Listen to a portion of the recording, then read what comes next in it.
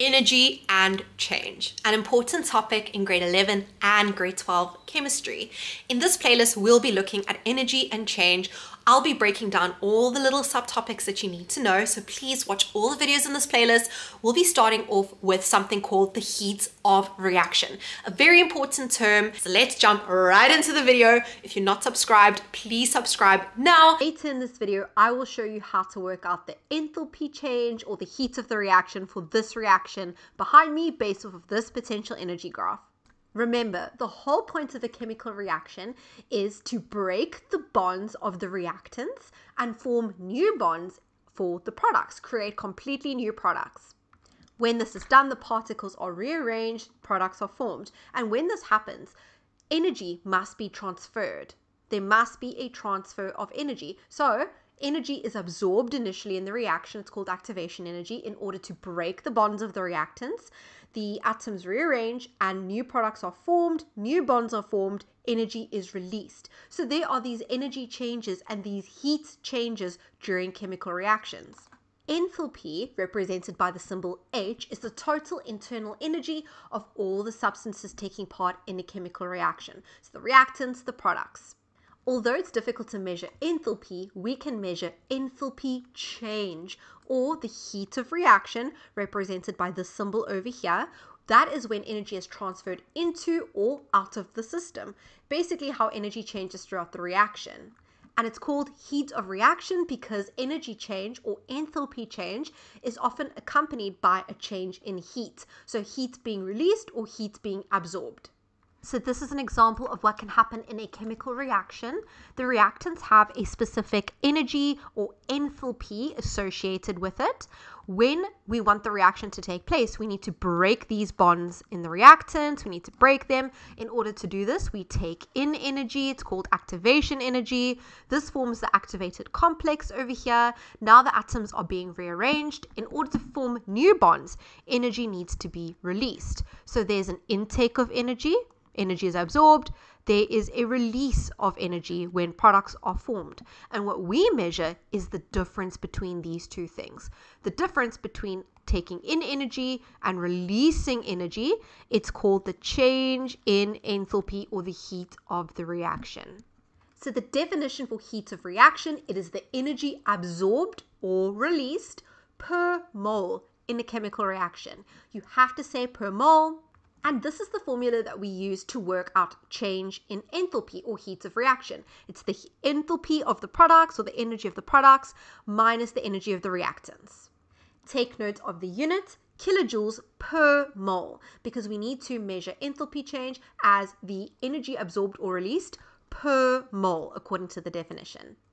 So in this case, the energy of the reactants is 400 kilojoules per mole. The energy of the products, you can read off here, is 100 kilojoules per mole. What happens in this reaction is, yes, we take in energy in order for the reaction to start. It's called activation energy. We don't know what this value is over here. It doesn't matter. Then this is called the activated complex. When the products are formed, energy is released.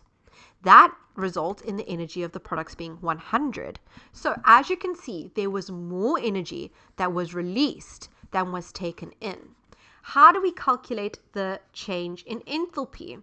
It's the energy of the products, which in this case is 100, minus the energy of the reactants, in this case it's 400, and we get a negative change in enthalpy. Remember your unit is kilojoules per mole. Now that negative has significance. That negative can help us classify the reaction as either an exothermic reaction or an endothermic reaction.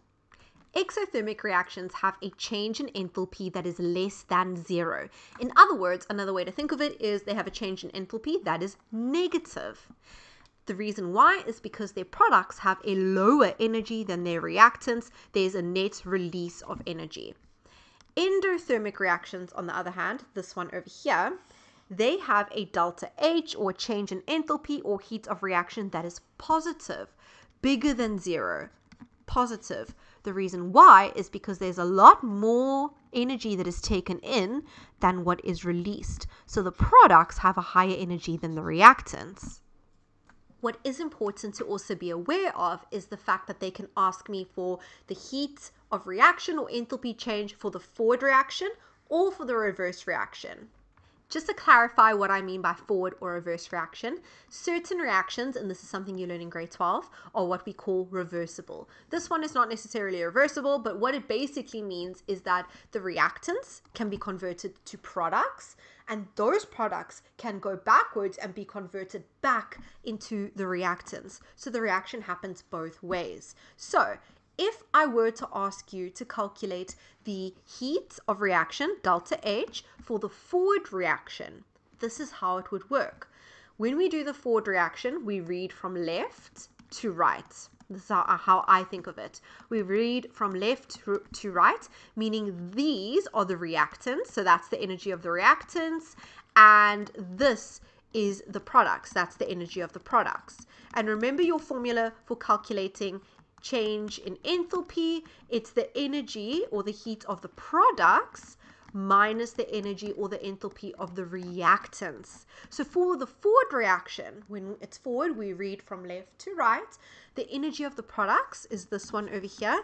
It's 320 minus the energy of the reactants. It's 120 it is 200 kilojoules. In this case, they're saying kilojoules, kilojoules, or kilojoules per mole. That is for the forward reaction.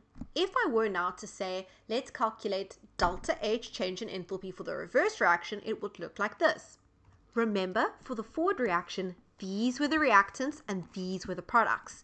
For the reverse reaction, we reverse that. We read it from right to left. So what that means is that these will be the reactants, these ones over here, reactants, and on the other side, we will have the products. Okay, so the products and the reactants basically switch places.